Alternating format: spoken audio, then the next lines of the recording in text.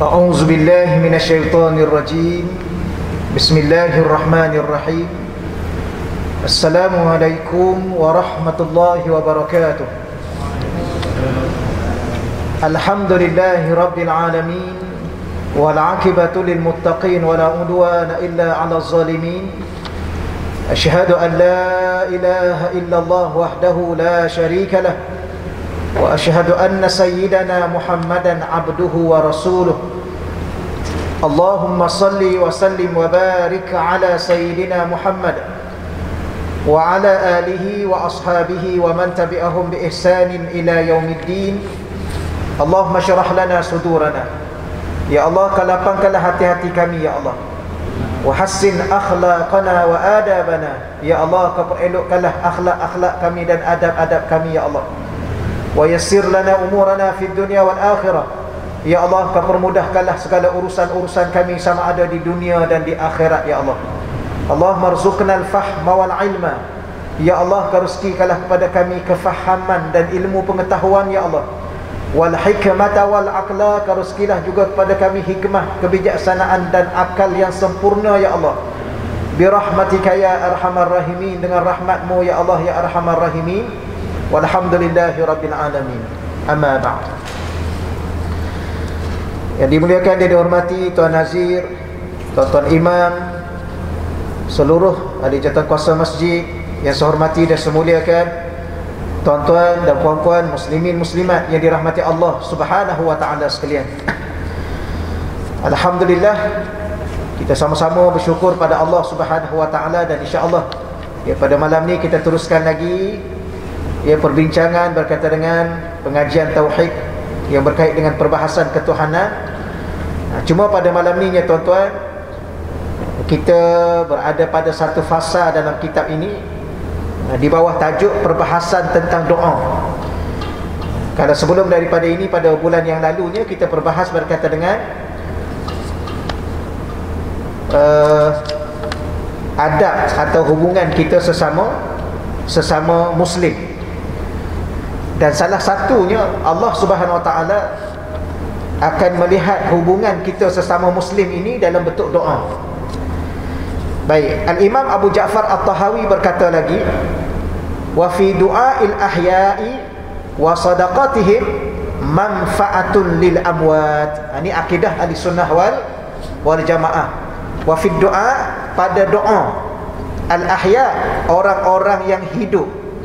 Wa sadaqatihim dan begitu juga sedekah-sedekah yang diberikan oleh orang yang hidup manfaatun memberi manfaat lil amwat kepada mereka yang telah meninggal dunia. Ha, ya.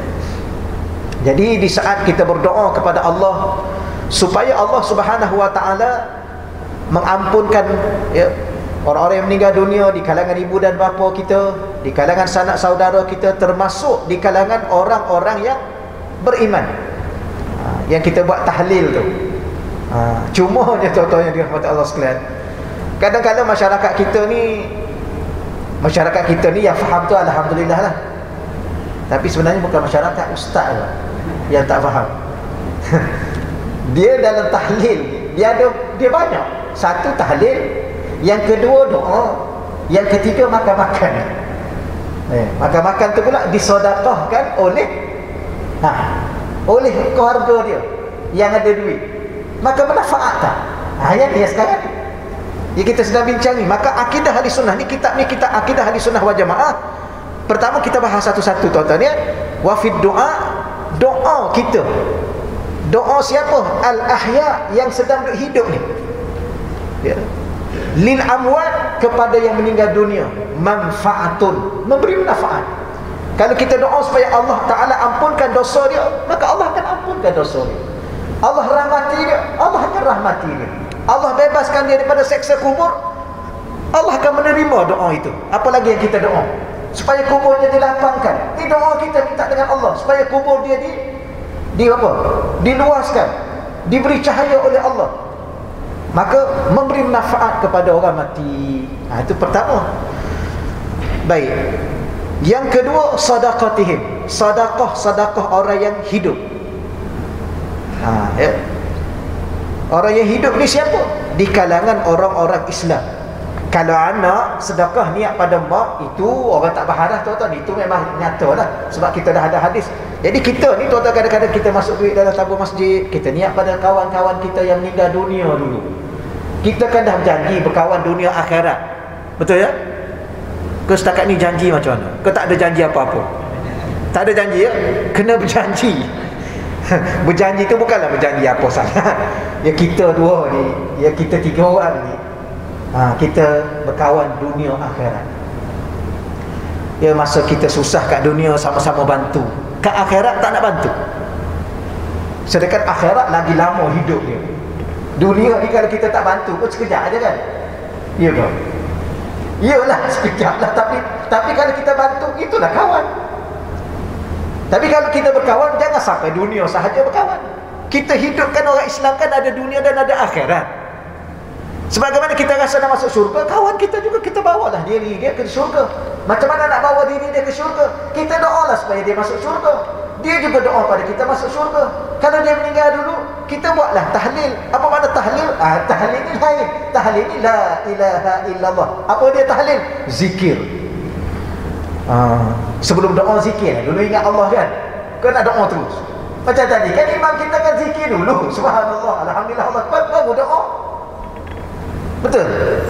Ni tuan-tuan kadang-kadang benda ni simple sangat je Tapi bagi orang yang Allah Alam dah Dia suka cari salah orang Dia suka menafikan amalan orang Ni ada perangai manusia macam ni Ya ha, Nanti bab ni saya akan uh, baca Mungkin bulan depan Ada-ada belakangnya. Secara detail dia dibahaskan. Jadi sekarang Alhamdulillah Cuma ada satu perkataan yang saya nak sebut pada tuan-tuan. Jadi sodakah ni tuan-tuan kena ingat ya di saat kita sedekah RM5 niatlah 50 sen kat kawan-kawan. Yang telah meninggal dunia. Kat mak mesti dah kat ayah mesti dah kat pak saudara kita sepupu kita yang sekeluarga kita ni mestilah kena ada lah tuan-tuan kawan-kawan kita tu orang Islam.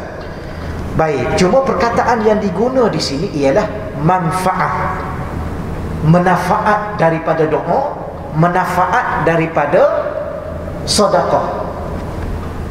Ha, dia ada dua. Bila mana kita beribadah pada Allah kita doa. Doa tu ibadah. Ibadah dapat pahala kita yang beribadah kita dapat pahala.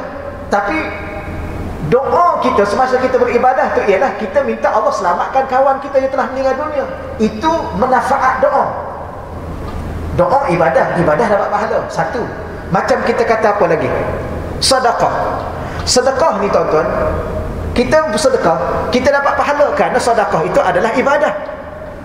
Tapi manfaat sedekah itu dia boleh panjangkan umur dia boleh sihatkan orang yang sakit dia boleh melapangkan kubur sedekah dia boleh menyebabkan sedekah ni kalau dalam satu sabda Nabi dalam kitab Riyadhus Salihin Al-Imam Nawawi Nabi kata as-sadaqatu burhanun sedekah ni bukan setakat dia bagi pahala pada kita Menafaat dia ialah dia menjadi bukti depan Allah. Apa bukti? Bukti pertama orang tu beriman pada Allah. Tuan-tuan, duit kita cari penat-penat. Tambah-tambah musim Covid ni dah. Nak sedekah?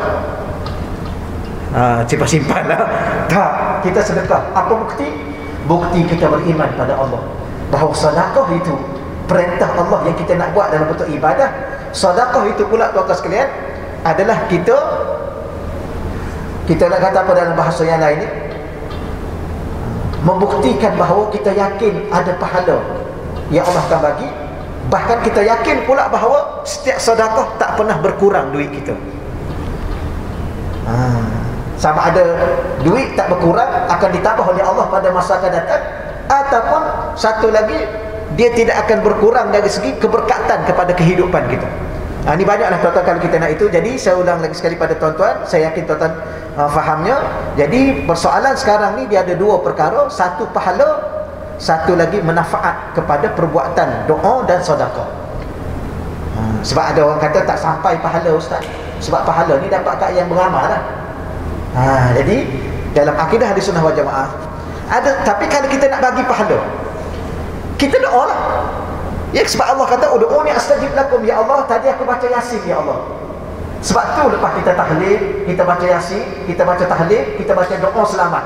Kemudian doa selamat ni kita baca doa lagi. Doa apa? Cuba tengok teks yang dibaca dalam tahlil tu. Ya kita angkat tangan kita pun doa ya Allah ampunkanlah dia. Ya Allah apa yang kami baca tadi? Tahlil yang kami baca yasin yang kami baca kami nak minta denganmu ya Allah engkau sampaikan pahala ini kepada si mati. Minta dengan Allah. Tidak mustahil bagi Allah SWT kerana Allah dah janji ud'uni astajib lakum. Kamu doa pada aku aku mustajab doa kamu cuma pahala ni dia ada perbezaan pandangan ulama. Ya, yang saya belajar dulunya. Empat mazhab. Tiga mazhab. Hanafi mazhab Maliki mazhab Hambali kata sampai. Niat sampai. Baca niat sampai. Mazhab Syafi'i ni ada satu.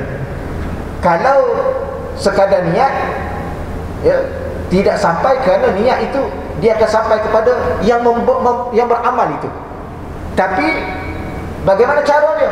Angkat tangan doa minta dengan Allah. Supaya Allah sampaikan. Hmm, ya. Kesimpulannya semua sampailah. Cuma Imam Syafi'i saja dia menyebut bahawa yang ni yang orang kata ah, tu bermazhab Syafi'i. Imam Syafi'i kata tak sampai tak ikut.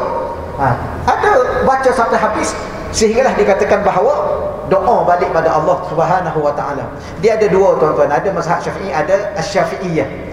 Mazhab Syafi'i itu ialah Imam Asy-Syafi'i sebagai pelopurnya, pengasasnya. Satu lagi Asy-Syafi'iyah ialah ulama-ulama yang mendukung mazhab Syafi'i, Asy-Syafi'iyah. Nah, jadi kadang-kadang kita pun betul lah kadang-kadang dia kata Imam Syafi'i tak kata begitu, tapi okey Imam Syafi'i tak kata begitu, tapi pendukung Imam mazhab Syafi'i itu dia panggil mujtahid mazhab Imam Nawawi, Imam Ibn Hajar Asqalani. Ha, yang ini yang mengatakan bahawa benda itu sampai. Tapi walau bagaimanapun, dalam malam ni, secara tegasnya ialah menafaat kepada doa, menafaat kepada sedekah, akan memberi, akan sampai kepada si mati. Okey, selesai tuan-tuan. Imam Abu Ja'far berkata lagi, Wallahu ta'ala yastajibud da'awat wa yaqdil hajat. Ha, ini kita pun sudah sedia maklum. Allah subhanahu wa ta'ala yastajibud da'awat dia adalah Tuhan yang maha menerima doa manusia wa yaqdil hajat dan dia juga Tuhan yang menunaikan hajat ha, jadi kita ada hajat kita doalah pada Allah. Mana hajat kita akan ditunaikan oleh Allah dan doa-doa kita akan di, diterima oleh Allah Subhanahu wa taala. Jadi mudahnya tuan-tuan sekalian kita pegang beginilah. Jangan lupa berdoa. Baca yasin lepas baca yasin doa. Supaya Allah sampaikan pahala bacaan yasin itu. Atau atau manfaat daripada bacaan yasin dia begini ya tuan-tuan. Dia macam duit dengan manfaat duit ha, tuan-tuan tuan-tuan nak yang mana? Mana-mana boleh lah dah. Tuan nak bagi duit ke? Boleh. Tapi kalau tuan nak bagi beras beras tu kan nak kena beli dengan duit. Ha, beras tu manfaat daripada duit. Apa lagi? Ha, apa-apa je lah. Jadi pahala tu satu. Pahala ni tuan tak tahu pahala tu apa ya? Kalau almarhum tuan datuk datuk uh, datuk uh, tuan guru ni Aziz dulu pahala-pahala ni duit lah pahala-pahala ni duit cuma kata dia saya masih ingat lagi masa duduk mengaji cuma bila mana pindah tempat dia tukar nama kita duduk Malaysia duit kita nama RM tapi kalau pergi ke tempat lain, duit juga, pergi Indonesia, duit juga. Tapi di Indonesia dia tak nama RM, dia nama rupiah. Tapi kalau pergi US, duit juga. Betul ya? Ke dah, tak, dah, dah bukan duit dah. Duit juga, tapi namanya dolar. Ha, pergi ke Saudi, ha, ni dah ramai pergi umrah ni, namanya apa? Riyal. Kalau balik akhirat, itu dia kata, kalau kembali ke akhirat, namanya pahala. Sebagaimana duduk kat Malaysia Kalau tak ada RM tak dapat lah Nak beli rumah, nak beli kereta, nak beli makanan ha, Sama juga balik akhirat tak ada pahala Tak adalah syurga, tak ada nikmat, tak ada apa ha, Itu saja, dia tukar tempat ha, Jadi Duit satu, menafaat duit itu dua. Pahala satu, menafaat pahala itu dua. Ha, Okey lah, jelas lah tuan-tuan. Benda ni benda simpel aja. Saya yakin tuan-tuan dah faham dah. Ya tak ada masalah benda ni. Yang tak faham tu biarkanlah nak buat macam mana. Kan Cuma masalahnya dia dia duduk larang orang yang faham. Ha, dia larang orang yang faham. Eh benda ni biasalah tuan-tuan, hidup atas muka dunia ni. Okey, Al-Imam Abu Ja'far berkata lagi, wa yamliku kulla syai'in wa la yamlikuhu syai'un wa la ghinan 'anillahi ta'ala. Wa yamlik dia Allah Subhanahu wa taala memiliki kulla syai'in. Allah memiliki segala sesuatu sedangkan tidak ada sesuatu pun yang memiliki Allah Allah Ta'ala ni adalah Rabb apa makna Rabb? Al-Malik apa makna Al-Malik? yang memiliki dia dia dia tidak boleh dimiliki oleh sesiapa. Sebab tu dulu tuan-tuan isu kalimah Allah. Cuma masalah kita ni susah juga kita nak bahas secara betul-betul ilmiah. Sebab kadang-kadang orang ni dia faham kalimah Allah ni. Secara kita nak kata apa? Milik orang Islam. Boleh tak kita cakap gitu ha, yang ni lah ni, ni yang kita sedang belajar ha, jadi bila mana kalimah Allah bagi orang awam mengatakan dia milik orang Islam maka dia tidak boleh diguna oleh orang yang bukan Islam ha. cuma dia nak kata apa dalam bahasa yang lain ya? Allah ni dia tidak boleh dia yang memiliki segala alam semesta termasuk manusia dan dia tidak boleh dimiliki oleh sesiapa zatnya namanya sifatnya perbuatannya tidak boleh dimiliki. Cuma kita orang Islam ni kita kena jaga kesucian nama Allah. Ha, itulah. Jadi you nak guna ha, kita nak kata apa? Dia ada beberapa perkataan dulu dia nak guna. Dia nak guna tu kita kena tanya lah. Kita tanya kenapa you nak guna? Bukan sebelum ni you tak guna pun. Kalau dia nak sebut ha, tu. ada perkataan sebut. Dia sekadar nak sebut dia nak sebut Allah turunkan hujan. Ha, boleh tak? Ha, sebab kita kata kalau dia sekadar nak sebut dia nak sebut tak ada masalah. Berapa ramai orang kafir sebut subhanallah. Saya pernah pergi mancing dulu sekali. Boleh cerita sekali Ustaz ya? Saya sebenarnya tak minat dah akhir-akhir ni cerita banyak ubi masa. Ni nak habis dah ni. Masa pukul 8-10 berhenti lah kita SOP kan? Ngaji tak boleh banyak amal kena banyak. Saya pernah pergi ke mancing di Pulau Sembilan ada seorang yang ikut memancing tu. Ada seorang tu haji tu dia bawa. Dia nama Raymond.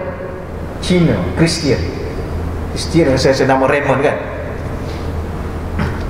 Ataupun Buddha tak, tak ingat. Tapi dia, dia, dia, dia bukan dia non, muslim saya duduk mancing tak dapat ikan tu. Tak dapat. Orang lain kejap dapat saya tak dapat. Ha, kita tak dapat tu sebab tak baca lagi ayat memancing. Ha, nanti saya pergi betul Baik. Kemudian dia cakap apa tuan-tuan? Ginilah ustaz. Cuba tarik, cuba angkat balik nak tengok perambut. Rupanya perambut saya tak panjang pendek. Dia nak dua depa. Dia kalau sekarang sedepa tak boleh dia nak dua depa, tiga depa. Tuan-tuan pun tahu kan memancing kan. Ha, saya dulu ada ikut tim tuan-tuan pergi mancing masa duduk Taman Steel dulu. Pukul 2 pagi dia ajak kita pergi pergi belakang kilang simen tu. Ha, saya ingat ada tuan-tuan ikut juga masa tu. Eh subhanallah tuan-tuan. Mula-mula merangkak. Itu pagar Bawah pagar merangkak Bawah pagar. Kemudian Dia kata kenapa aja? Oh dia kata ustaz Tempat ni dia seram sikit. Kalau ustaz ada boleh baca apa-apa Dia kata. Ada abang-abang tak mesti. Saya ingat begitu Tuan-tuan Saya pergi tengok siang hari. Patutlah oh, Jalan buka ni. Ha, bukan. Rupa-rupanya patut pergi siang hari. Rupa dingin ni. Tuan-tuan kalau pergi tengok siang hari Confirm tak pergi ada ular sawah macam-macam ada itu, itu cerita yang macam tu mesti. Tak apa pergi. Dia pun angkat dia kata gini ni saya, nak cakap dia pun buat perambut ha, ni ustaz ustaz guna perambut saya. Dia buat buat buat. Okey ustaz ustaz guna perambut saya ni insya-Allah dapat ikan. Hai. Hai repot cakap insya-Allah dapat ikan. Lepas tu duduk sekejap memang dapat. Dah perambut dia betul dengan tempat tu. Alhamdulillah ustaz dapat ikan dia kata. Ha, sudah. Macam mana ni? Kalau kalau orang kafir macam ni tuan-tuan. Jadi sekadar dia sebut Nanti kalau kita kata Raymond, you jangan cakap Alhamdulillah. Habis saya nak cakap apa? Dah ustaz dah dapat ikan. Saya cakaplah Alhamdulillah. Ha, ha, tapi kalau dia kata saya nak guna nama Allah. Ha, ni kita kena tanya. Kenapa you nak guna? Tujuan apa nak guna? Bukan sebelum ni you tak nak guna sebelum ni. Ha, satu dia nak guna pula nak terjemah kepada kitab-kitab. Ha, ini kita dah tahu dah. Sebab orang Kristian ni adalah orang yang penipu. Minta maaf kita cakap ni dalam rumah kita ni hak kita. Yang kalau kat luar itu dia punya pasal lah. Ya. Mana dia tipu? Dan Quran bagi tahu. Paling-paling kurang disebut mereka itu golongan yang sesat. Ghairil maghdubi alaihim waladhdall waladhdallin. Ha, tapi walau bagaimanapun malam ni kita kena faham untuk diri kita. bahawa Allah Subhanahu wa taala wa yamliku kulla syai'in dia memiliki segala sesuatu wala yamlikuhu syai'un tidak ada sesuatu yang memiliki dia dan dia tidak dimiliki sebab yang dimiliki itu akan jadi lemah. Ha, kita ni kan siapa milik siapa? Kita ni dimiliki oleh siapa? Oleh Allah. Maka kita dengan Allah sudah tentu kita lemah. Allah itu maha berkuasa. Kalau ada yang memiliki Allah sudah tentu Allah juga lemah kepada yang dimiliki itu. Maka ini mustahil. Okey. Kemudian wala ghinan anillahi taala. Tidak ada yang bebas daripada Allah. Walaupun tarfata ainin walaupun sekelip mata. Tidak ghina ni asal makna kaya. Apa makna kaya?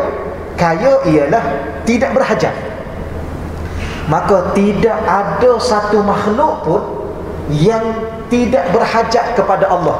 Tapi dalam ni dia terjemah bebas. Tidak ada satu makhluk pun atas muka dunia ni sehebat mana makhluk tu, sekaya mana dia, sekuat mana dia.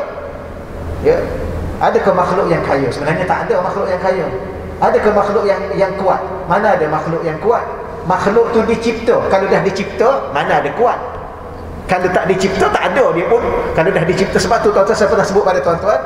Makhluk yang dicipta tidak akan mampu selama-lamanya menandingi pencipta. Tidak akan. Ha, sebab tu ingat dulu saya tanya tuan-tuan. Kita manusia yang mencipta kereta. Kereta tu dicipta oleh manusia walaupun bukan kita tapi manusia yang mencipta. Kereta tu boleh tak lawan manusia? Tak boleh selama-lama. Kalau saya tanya soalan, mana laju manusia dengan kereta? Mana laju? Laju manusia lah. Ya, laju manusia sebab kereta tu yang laju cuba tengok siapa ada dalam tu siapa yang siapa yang hidupkan enjin dia siapa yang tolong tekan pedal minyak untuk dia siapa yang tolong pusing steering dia untuk kau nak kiri kau kanan siapa cuma bila mana kita tengok zah eh lajunya manusia tu taklah cakap macam tu kan eh lajunya kereta tu sebab kereta yang nampak manusia sebenarnya manusia kalau nak tahu cuba parking kereta yang laju tu kita berjalan tepi dia pun laju gitu Itulah hakikat makhluk. Dia tak ke mana tuan-tuan? Itu bangunan yang? Bangunan kita kata apa? World Trade Center dulu dah hancur lebur lah. Kan? Ya, bangunan KLCC tu. Mana mana hebat manusia? Mana kuat? Manusia ni tuan-tuan sekalian boleh runtuhkan bila-bila masa tu kan? World Trade Center tu lembur hancur. Siapa buat? Manusia lah yang buat. Yahudi. Habis kata hebat. Mana ada hebat? makhluk yang dicipta atau sesuatu yang dicipta tidak akan mampu menandingi pencipta selama-lama bahkan makhluk yang dicipta tidak boleh membebaskan diri daripada pencipta. Jadi kita makhluk ni dicipta ya dicipta. Kita rasa nak bebas dari Allah. Ah, saya ustaz saya tak nak kena mengena dengan Allah. Ha, boleh? Oh subhanallah. Nak berkelik pun. Tuan-tuan berkelik siapa? Siapa ni berkelik berkelik berkelik ada berkelik sendiri? Cubalah sekali tuan Tapi saya rasa tak payah cuba dah. Rugi masa saja Cuba tuan-tuan ambil masa satu jam Berkelip sendiri Saya kata tak ada kerja lain Kita boleh buat Kejap berkelip Kejap berkelip Kejap berkelip Orang kata apa Ha tuan ni Saya nak sengaja berkelip sendiri Tak payahlah tuan-tuan Ya serahlah pada Allah Subhanahu Wa Taala. Kita tak akan terlepas Itu kalau berkelip Ha jantung-jantung Ha boleh buat sendiri. Berkelip ni nampak juga boleh pejam, boleh celik, boleh tutup, boleh buka. Cuba cuba cuba yang lain yang lain. Apa yang lain? jantung jantung Allah kita tak akan pernah bebas daripada Allah Subhanahu Wa Taala. Kita berada dalam sebab tu Nabi kadang-kadang Nabi bersumpah macam mana? Wallazi nafsi biyadi. Demi diriku berada di dalam kekuasaan Allah. Kalau terjemah literal tapi tak boleh terjemah gitu kerana dia bercanggah dengan ya dalam genggaman Allah. Ha, boleh lagi. Dalam tangan Allah itu tak boleh. Ya kerana itu adalah sesuatu yang uh, dia panggil apa musyabbihah. Yang menyamakan Allah dengan makhluk. Dan kita baca sikit lagi. Wa man istaghna anillah. Sesiapa yang menganggap dirinya istaghna anillah ya bebas dari Allah. Dia menganggap diri dia bebas dari Allah. Tak ada kena mengena diri dia dengan Allah. Dia bergerak sendiri dia hidup sendiri. Ha contohnya. Tarfata aini anggapan itu walau sekalipun sekadar sekelip mata saja Ya, saya ni ustaz ada beberapa saat dan waktu saya tak ada kena mengenal dengan Allah. Saya berkenik sendiri, saya hidup sendiri, saya bernafas sendiri, saya berjalan sendiri. Sebab tu kita ni tuan-tuan, kita berjalan dengan apa? Banyak kali dah saya tanya soalan ni tapi saya yang jawab. Ya, saya kita berjalan dengan apa? Sebenarnya kita berjalan dengan kudrat yang Allah beri kepada kaki kita. Dan izin Allah. Mana bukti? Dan kita tidak pernah pun berjalan dengan kaki kita. Kalau nak tahu, cuba pergi hospital. Berapa ramai yang ada kaki, dah lama tak berjalan. Tapi kalau dulu berjalan dengan kaki, kenapa tak berjalan? Jalan, jalan. Berapa ramai ke hospital, tuan-tuan sekalian, nak angkat satu jari pun tak boleh.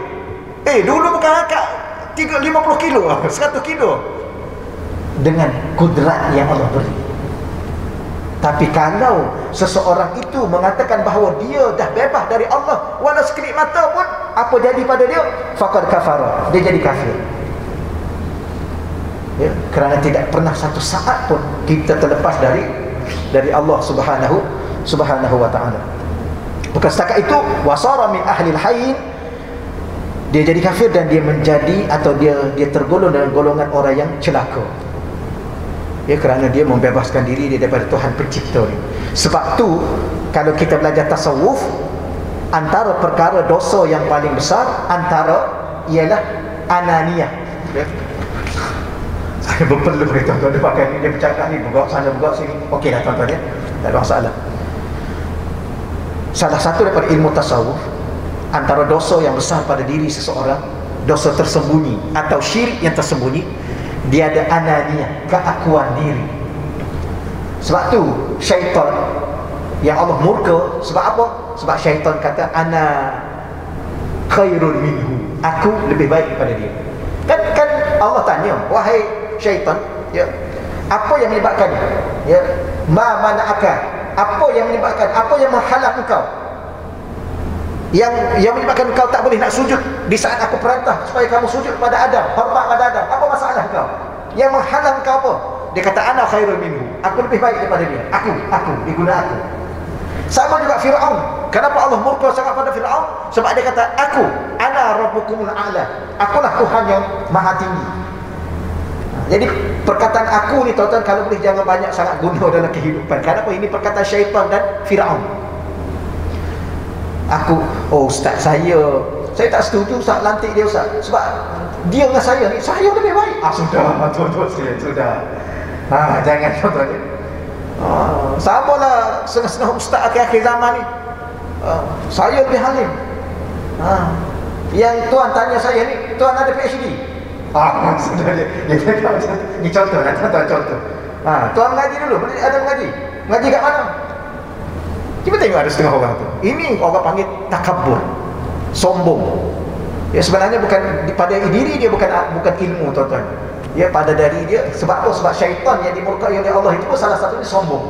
Aba wastak wastakbara. Kenapa tak istakbara? Dia rasa aku, keakuan diri dia. Ha inilah yang dikatakan di sini sesiapa yang merasa bahawa diri dia bebas daripada Allah walaupun sekelip mata pun dia rasa begitu. Fakat kafara dia telah kafir kerana tidak ada tidak ada satu saat dalam hidup kita tuan-tuan walau di mana kita berada dalam apapun keadaan diri kita adalah la haula wala quwata illa bi dengan Allah dengan Allah tu dengan izin Allah dengan kehendak Allah dengan taufik Allah dengan hidayah Allah dengan kudrat yang Allah beri kepada kita itu dengan Allah.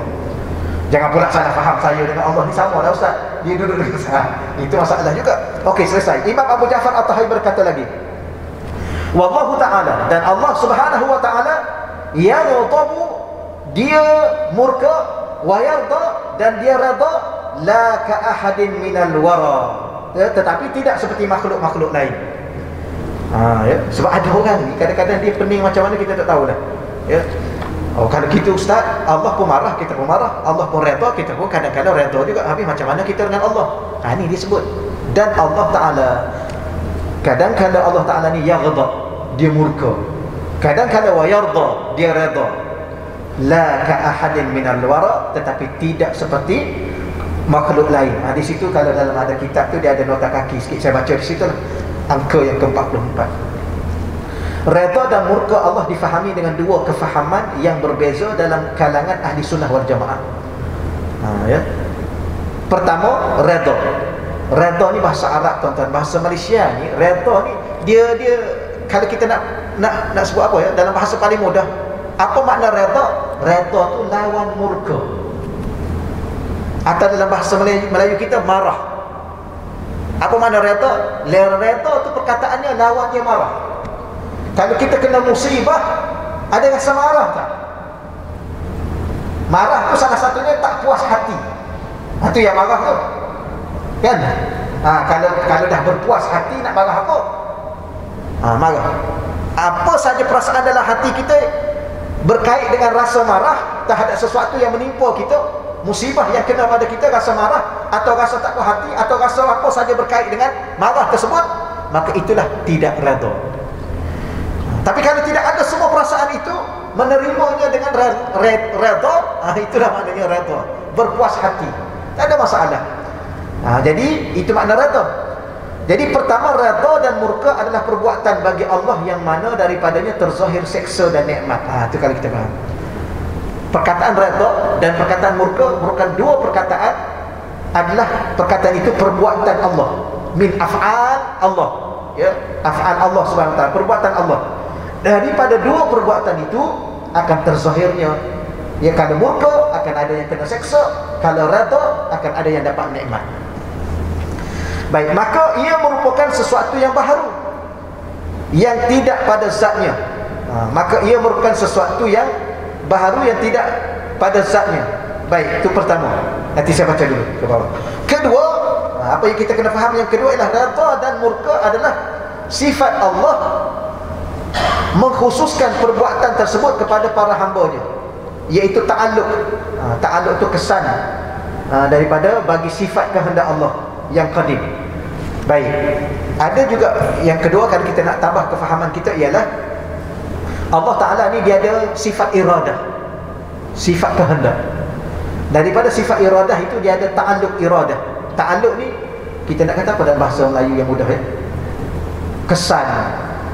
Ha, hasil daripada kehendak Allah itu maka adanya kehendak Allah yang meredai seseorang adanya kehendak Allah yang memberi kemurkaan ataupun memurkai seseorang sehingga dengan murka itu Allah berkehendak untuk menyeksanya ha, dia daripada kehendak Allah subhanahu wa ta'ala. Yang ni insyaAllah tuan-tuan ni mungkin kalau khatam buku ni ya saya berhajat kita akan baca kitab satu lagi. Ha, yang tu kita baca satu-satu sifat Allah. Sifat iradah. Kita bahas sifat iradah. Ha, iradah ni dia berkait dengan kudrah. Ya. Kalau dia ada kuasa dengan kehendak ada kehendak. Kalau ada kehendak tak ada kuasa nak buat apa macam kita ni kan ada kehendak kan tapi dah tak larat tu macam mana? Tapi ada orang larat tapi tak ada kehendak. Ah, betul ya? Macam tuan-tuan semua larat ni tapi dah tak ada kehendak. Tak ada dah Ustaz saya Ustaz tak ada dah. Kalau kita belajar akan datang nanti akan kita nanti saya baca kitab tuan-tuan sekalian. Allah Ta'ala ni dia ada kudrah. Dengan kudrah tu dia ada kehendak. Tapi kehendaknya dengan ilmu ha, ada pun kita ni pula kadang-kadang ada ada kudrat ada. Kehendak kehendak ada. Tapi dengan nafsu bukan dengan ilmu. Ha, kita kita belajar juga. Okey baiklah insyaAllah. Yang qadim apa makna qadim? Qadim ni kita terjemah sedia kala. Apa makna sedia kala? Tidak ada permulaan bagi bagi sifat iradah Allah.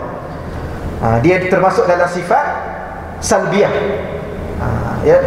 Sifat qadim qadim tu sifat salbiah Allah yang mana ianya merupakan amrun iktibari ha, amrun iktibari apa makna amrun iktibari sesuatu yang kita faham iktibar pada pemahaman kita. Benda dia yang ini, ini panjang sikit tuan-tuan sekalian. Saya sebut begini mudah insyaAllah ya.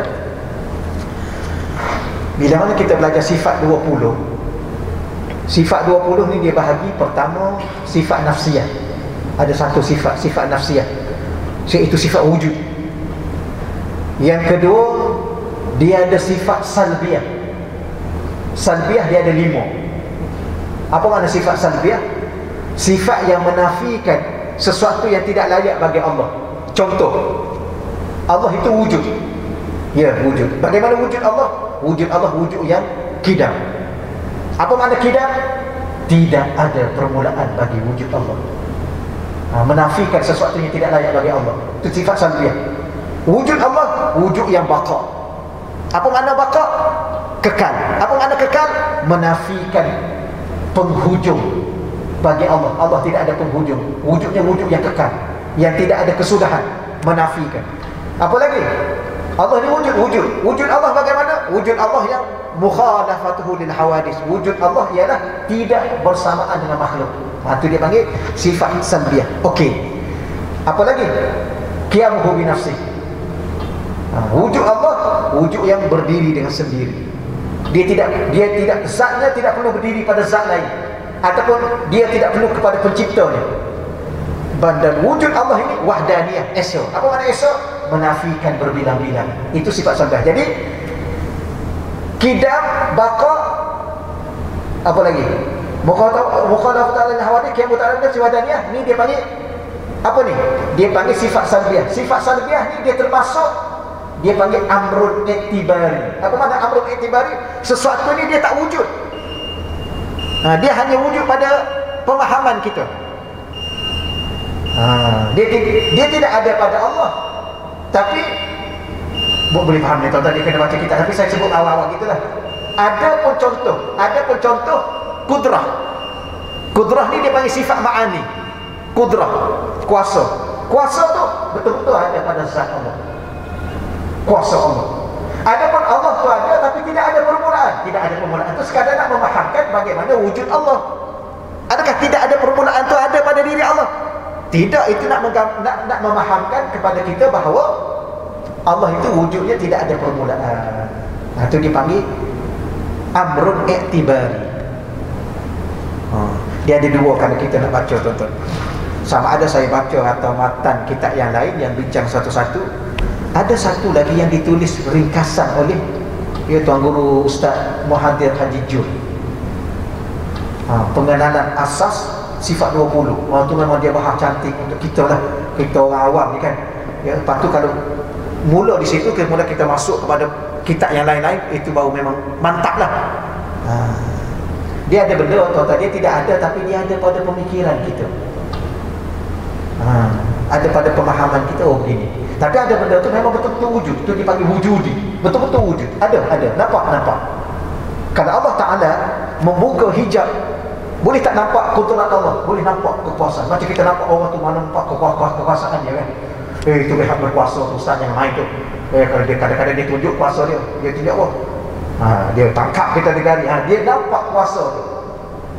Tapi ada sifat Allah dia tidak nampak begitu. Dia sekadar kita faham dengan akal kita. Tu dia panggil amrun iktibari. Okeylah tuan kita dah dah apa? Kena azan insya-Allah.